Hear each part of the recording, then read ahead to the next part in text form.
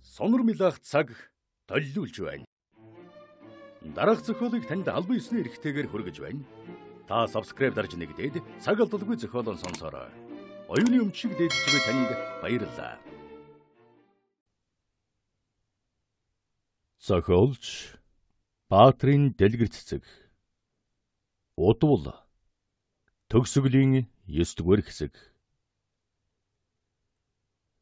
Удвал энэ бүхнийг сонсчихсон байх вэ гэд охин руугаа харвал дөрөлгөр алагнууд нь ээж рүүгэн аврал ирэн ширтэж байлаа. Үгүй шүү төгсөө минь. Ийм ярих гэж байгаа бол чи амьдралаа бодоо.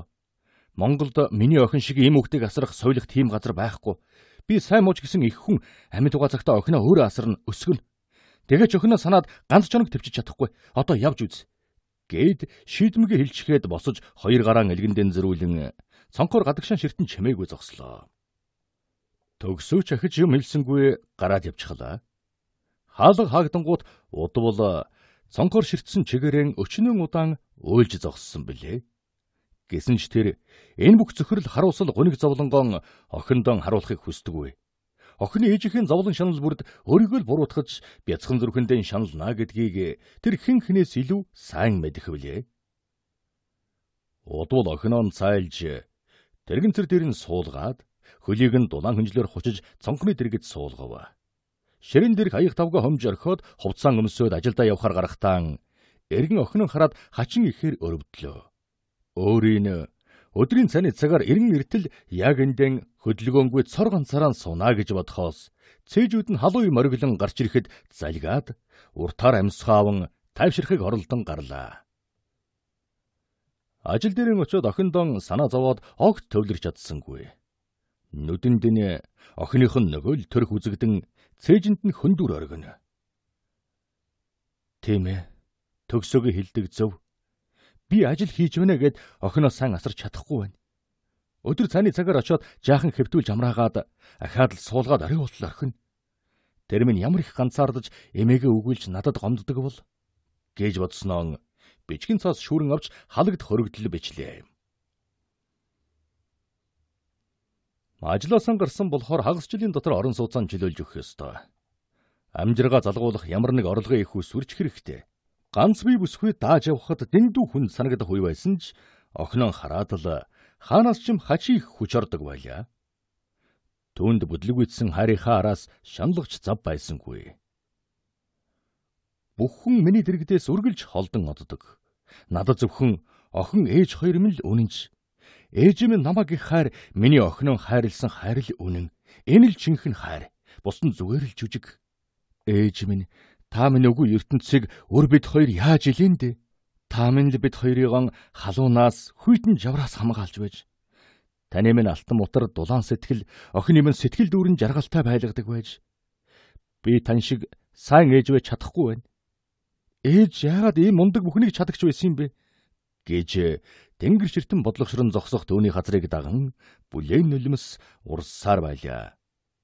Бүтэн жилийн турш хамаг хүч, бие сэтгэл хайрын зориулан асарч байгаа хэдий ч охин улмал хоолунднаас гарч туурж ямар нэгэн зүйлийн өвдөд байгаа бололтой яриаглана. Эмчнэр ч он шиг нь сайн олж чадахгүй байлаа.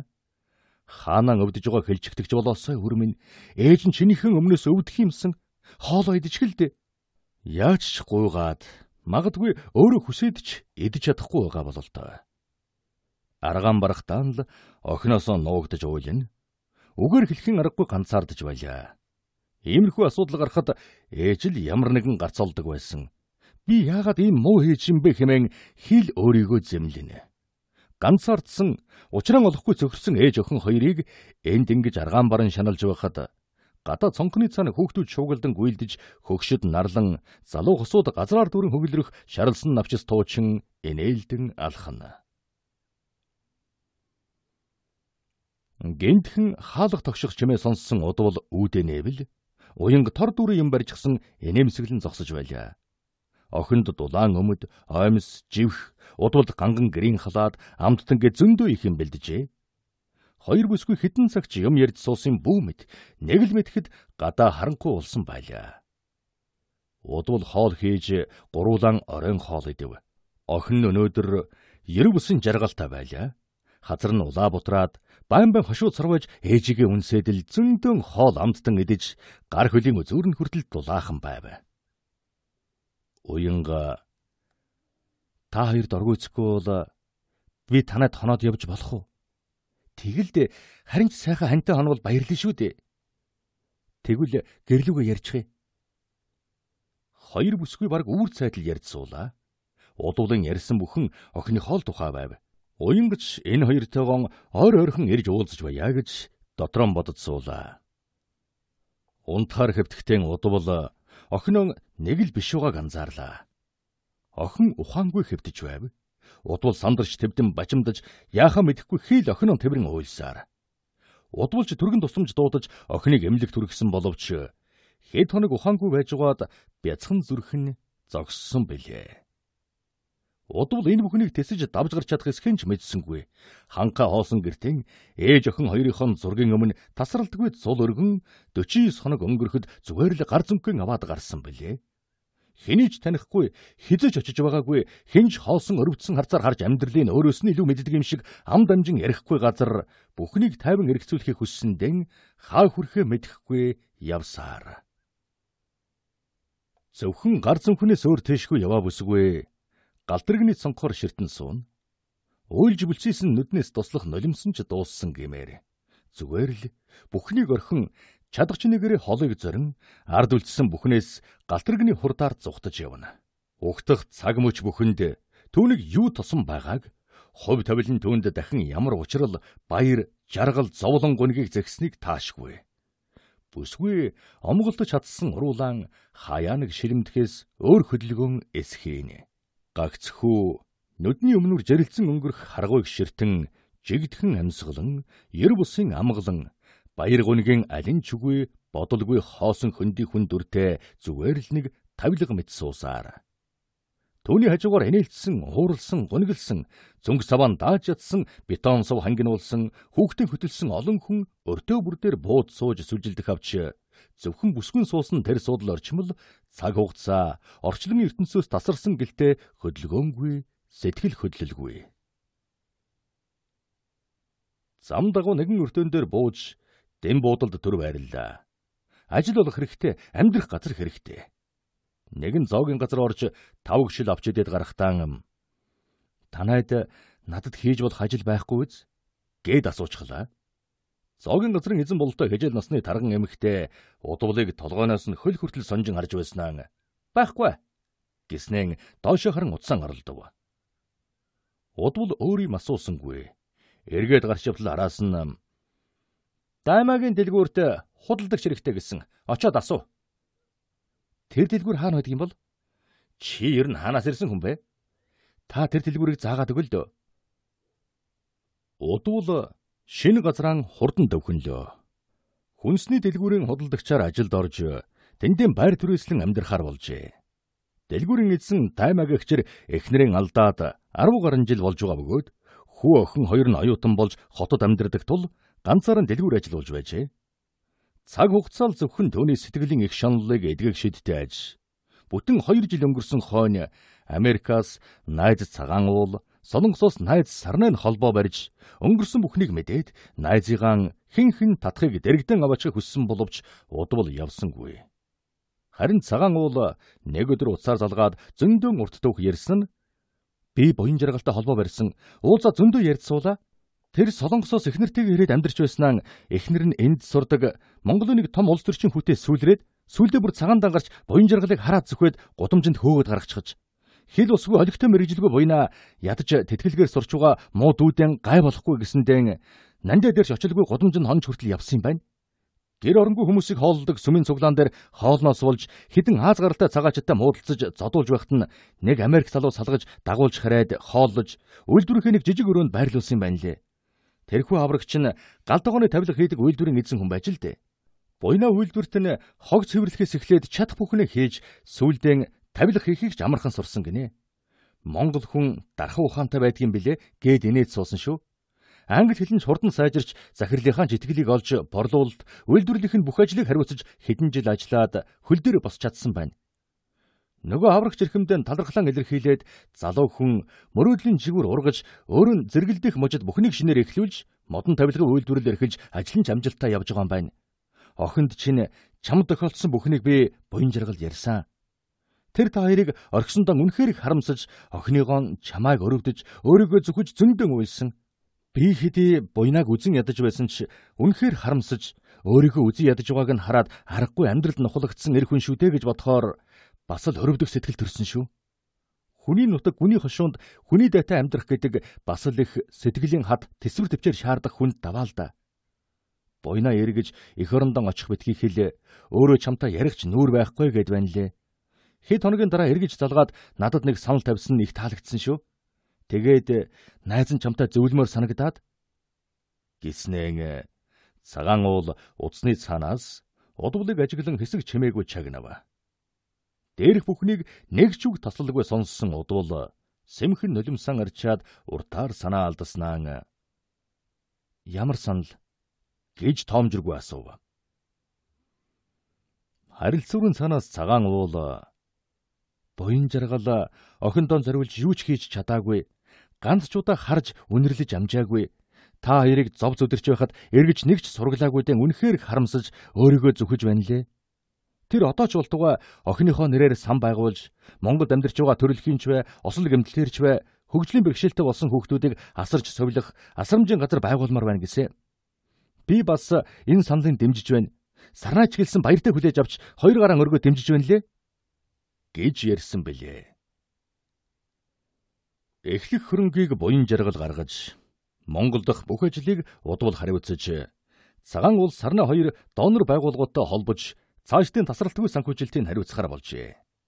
Найзууд нээлж амьдралын хатуу хөтөө сүүдэртэй талд зүдэрч бүдэрч ява хөгжлийн бэрхшээлтэй хүүхэдтэй ээжүүд тэр хатуу тавиланг бяцхан биедэн цээжэндэн тээж ява хүүхдүүдэд туслахаар сэтгэл нэгдэж ханцуу шамлан ажилдан орлоо.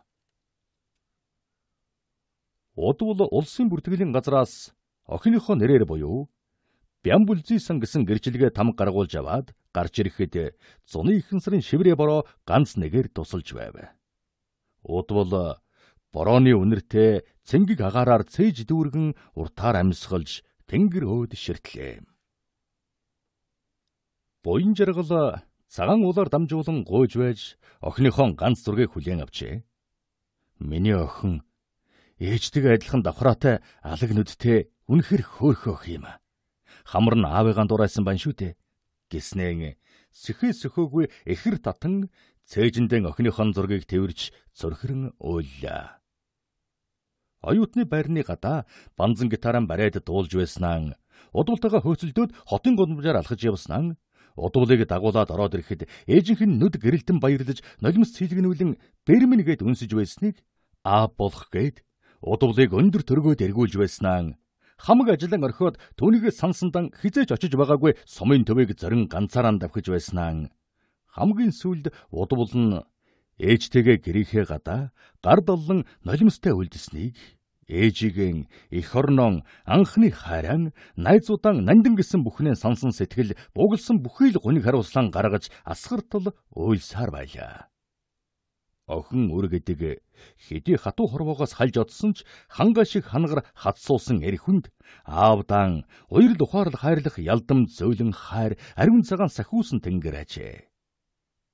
Буян жаргал охиныхон зургийг нандаа дэлгээжээ.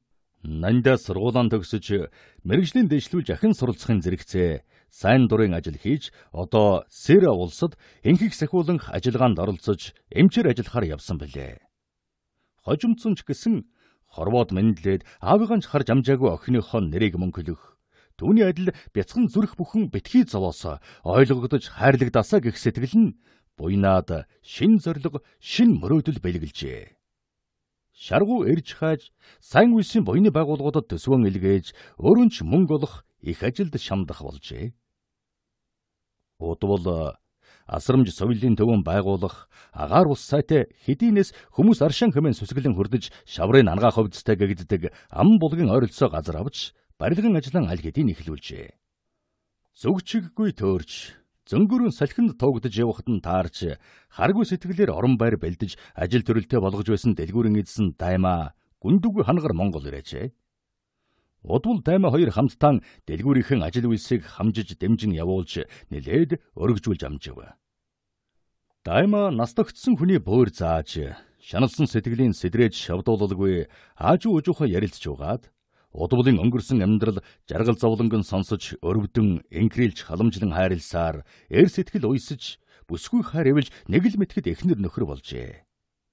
Даймаг хаяа уянхнэн залуу сайхан охин өөрөн ирээд гэрийг чинь гээгүүлчихдэг чээж хоншоортой ир шүү гэж үгийн далимд явуулахад муу бурхан болооч минь намайг яаж ганцаараа хөгөөж ирж байгааг мэдээд сайн хань илгээсэн байхаа та гэж суудаг байв. Даймагийн амьдрал эмгтэй хүний гар сэтгэлээр дутаж явсан орон зай бүхэн дүүрж утга учиртай болсон бол удвал харин эр хүний халамж хайр өмг түшгийг мэдэрч бүсгүй айл зөм бүхэн сэргэж улам үсгэлэн төгс сайхан бүсгүй болжээ. Асрамжийн газар байгуулах их ажилд ханцуу шамлан орсон их нэртэй даймаа барилгын зураг төсөл газар шорооны ажлаас нь нугалцаж өгнө.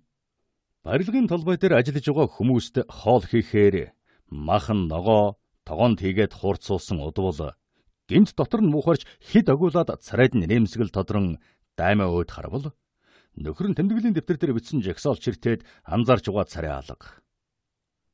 Айсу баярын совин эвлэж ижизэн харвсан удвал нөхрийнхөө дэргэд очиж сагалдаа уруулын үнсээд хэвли дээрээ гарын тавилаа. Дайма сая нэгийг ойлгож байгаа бололтой удвлын өдөөс нэг дам харснаа нүдэнд нь баярын нулимс цээлгэнэв. Ижиа болох баяр тэмэдэг хэсэгтэн хоёулахнаа дотор хадгалж явсан ч хоног сар улирхан хэрээр удвлын гэдэс томорч тосгон даяар шинэ хүнтэй болох тухай мэдээ тархжээ. Анх удвлыг цайны газар нь ороход даймагийн дэлгүүрийг зааж өгсөн нутгийн игч удвлын хамгийн дотны найз болсон. Орвж гарвж удвлыг халамжилж аягшил хүртэл хээж өгнө. Энэ танай мангар хар халамж энтер мэдэхгүй шүү. Сайн үгэлж угаарай. гэж удвалд тоглоом болгож хэлэх бөгөөд.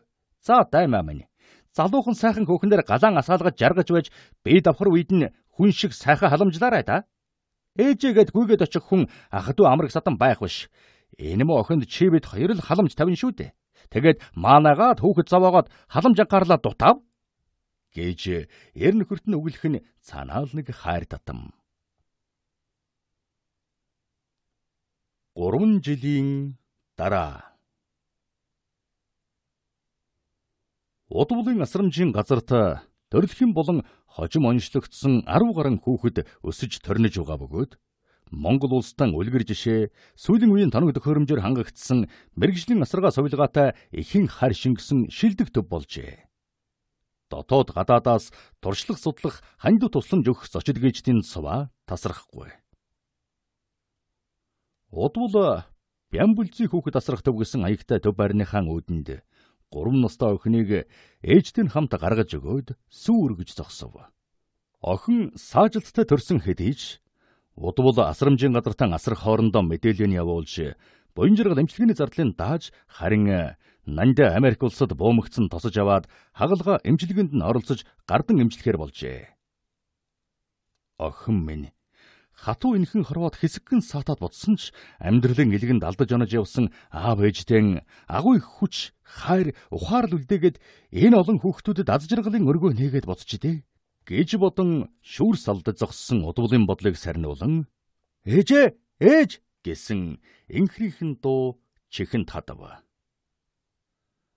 Дайма хүүгээ хүзүүн дээрээсэн буулгахад хүүн ээж рүүгэн хар ирчэрийн гүйж ирээд энгэр замын тэмдчин эрхэлвэ. Төгсөв.